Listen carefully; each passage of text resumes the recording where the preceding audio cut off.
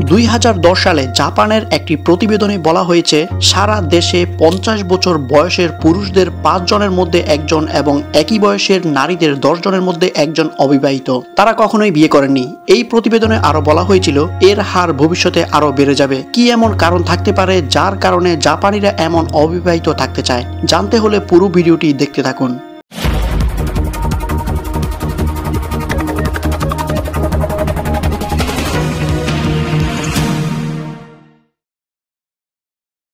ছবিতে আপনারা যে মেয়েকে দেখছেন, তার নাম মিনা সাইতো। তিনি জাপানের একজন কর্মজীবী নারী। তার বয়স উনচল্লিশ বছর। তিনি জাপানের সাপ্রো শহরে তার বাবা মার সাথে থাকেন। একটি বিজ্ঞাপন কোম্পানিতে কাজ করেন তিনি। অফিসে কাজের সময় সকাল নয়টা থেকে সন্ধ্যা ছয়টা হলেও ব্যস্ত বলে তিনি প্রতিদিন কাজ করেন রাত নয়টা পর্যন্ত। বাসায় ফিরতে ফিরতে রাত দশটা হয়ে যায়। এখন তার কোনো প্রেমিক নেই। তার জীবনে যে কোনো প্রেমিক ছিল না তা কিন্তু নয়। যখন তিনি তার প্রেমিকের সঙ্গে বাইরে ঘুরতেন বা একসঙ্গে খাওয়া দাওয়া করতেন, তখন তিনি স্বাভাবিকভাবেই আনন্দ বোধ করতেন। তবে সেই আনন্দের চেয়েও তিনি বেশি শান্তি পেতেন তার পরিবার এবং কর্মসংস্থানে থাকার সময়। কাজের ব্যস্ততার কারণে এখন তার নতুন করে প্রেম করার সময় এবং অনুভূতি কোনোটাই নেই। তার মা, বাবা তার বিয়ে নিয়ে দুশ্চিন্তা করলেও তাকে সরাসরি কিছুই বলেন না। মিনার সমবয়সী বান্ধবীদের মধ্যে অবিবাহিত অনেক বান্ধবী রয়েছে এমন। তারা একইভাবে মনে করেন যে বিয়ে করার তেমন কোনো প্রয়োজন নেই, কারণ তাদের চাকরি আছে, বাসা আছে, স্বাধীনতা ও নিরাপত্তাও আছে। তাই এমন কিছু কারণেই জাপানের সমাজে বর্তমানে জন্মের হার দিন দিন কমে যাচ্ছে।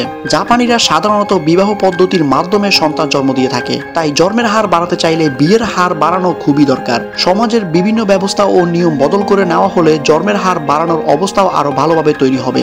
যেমন কর্মজীবী মায়েদের জন্য প্রয়োজনীয় সহযোগিতা পাওয়ার ব্যবস্থা করে দিতে হবে। সরকারি নার্সারি বা শিশু পরিচর্যা কেন্দ্রের সংখ্যাও বাড়াতে হবে। কিন্তু মুশকিলের ব্যাপার হলো, বিয়ে মানুষের ব্যক্তিগত ধারণার উপর অনেকটাই নির্ভর করে। তাই জাপানিরা সচরাচর বিয়ে করতে চায় না। তাহলে আজ এ পর্যন্তই। ভিডিওটি ভালো লাগলে লাইক করবেন, যদি কোনো মতামত থাকে অবশ্যই কমেন্ট করে জানাবেন আর শেয়ার করে অন্যকে দেখার সুযোগ করে দিবেন। আর প্লিজ দেশ বিদেশের এমন সব অজানা তথ্য পেতে অবশ্যই আমাদের চ্যানেলটি সাবস্ক্রাইব করে রাখবেন। Video update journalist, news desk.